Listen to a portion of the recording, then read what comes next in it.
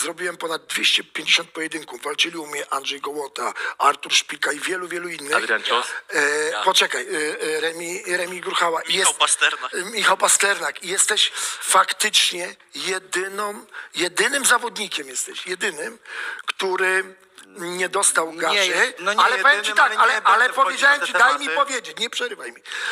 Jesteś jedynym zawodnikiem, który nie dostał garzy. Nie dostał garzy dlatego, bo już w ringu zdjąłeś spodenki i po prostu spierdoliłeś. Nie było kiedy, bo jeszcze po tobie walczyłem. Ale Ale, ja, uważam, walkę wygrałem. ale poczekaj, ale poczekaj, daj mi dokończyć. Jezus, no przecież Marcin, mówię, o, kurwa, mamy mówię o jasnej sprawie.